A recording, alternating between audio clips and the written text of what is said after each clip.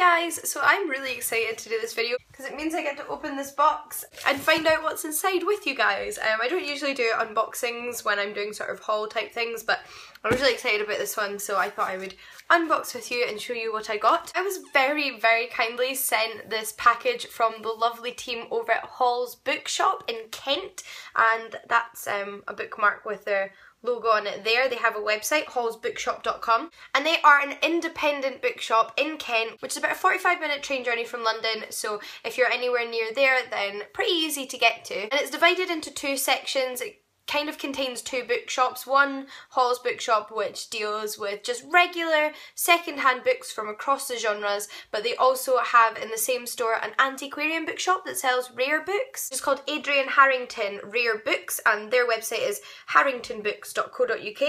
And I'll link obviously both of these websites down below. Definitely check them out. But obviously, if you're ever in the vicinity of this bookshop, highly recommend checking out because they were kind enough to send me this parcel with a few goodies in it and I just love supporting independent bookshops, in particular second-hand bookshops so much fun. I love the kind of things you can discover that you didn't even know were out there and I'm really excited to see what came in my parcel. So the first thing I've pulled out isn't a book and it is some tea from PG Tips and it's juicy red berries flavour. I imagine for me to drink a cup of whilst I am reading which is just a really lovely thought actually. I do enjoy a good cup of tea when I'm reading so I will try this out next time I sit down to read a good bit. As if that wasn't tasty enough they also sent me some biscuits and I love Mikado stick biscuits. These are delicious so I'm gonna I'm gonna sit down with a cup of tea and Mikado biscuits and read a book hopefully one of the books from here. Okay, so there's two packets in here and I've unwrapped one of them and it's really well wrapped. It's got like multiple layers of wrapping paper on it, so they've sent it to me and kept it very safe in the post, which was very kind of them.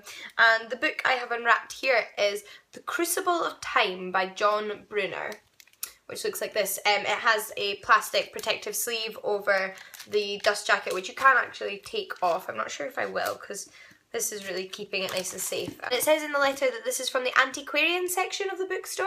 And I absolutely love this letter, which was written by Tabitha over at the bookstore, and it's just, it's a very thoughtful, thoughtful letter, so thank you Tabitha.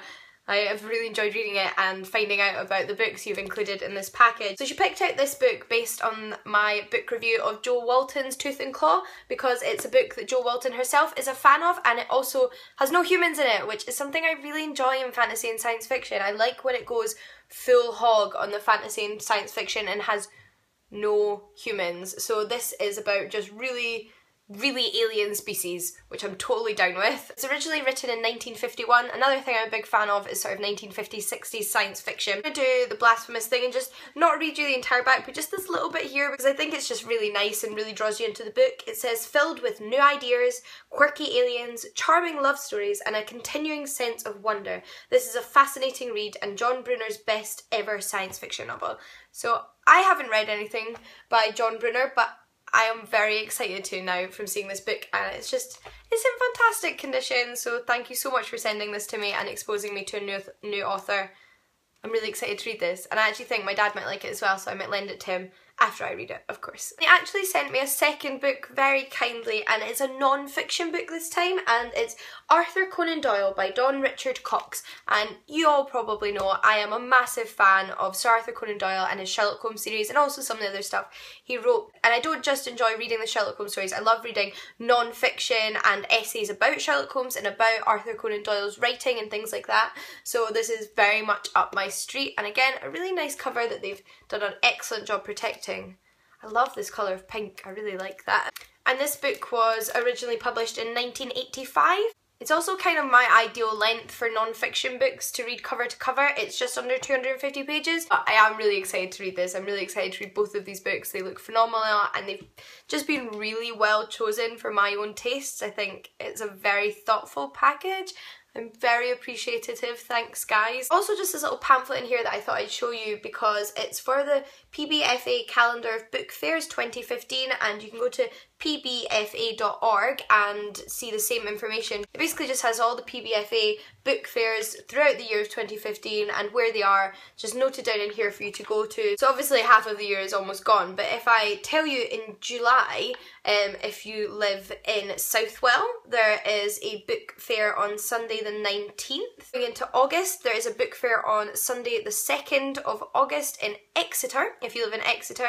But I'm not going to read out the whole leaflet to you. I found some book fairs coming up where I live locally and places I might be visiting within the next year, so I'm probably going to try and check out some of those book fairs. And if you enjoy a book fair, I'd go to this website and um, see if you can find out where those are because, again, it's just nice to buy books from independent sellers, I always think. But just once again, thank you so much to the people over at Hall's Bookshop.